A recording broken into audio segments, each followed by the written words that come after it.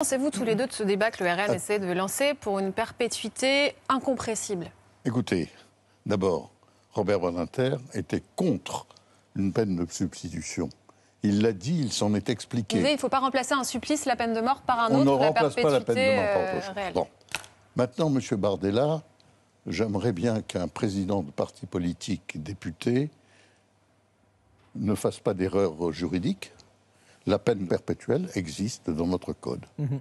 Certes, il y a ce qui il y a, c'est qu'il y a Une une, période de peine de sûreté sûreté de de 30, 30 ans. ans. On peut estimer que, puisqu'il faudrait une peine de sûreté éternelle aussi. Bon, mais ce qu'il y a de certain, c'est que cette peine perpétuelle, moi je la combats. Moi je la combats de toutes mes forces.